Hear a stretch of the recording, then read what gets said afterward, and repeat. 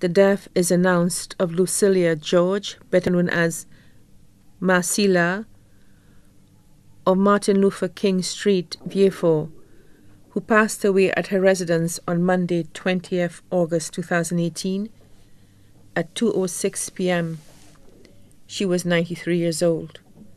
The funeral arrangements of the late Lucillia George, better known as Marcilla, will be announced in a subsequent broadcast.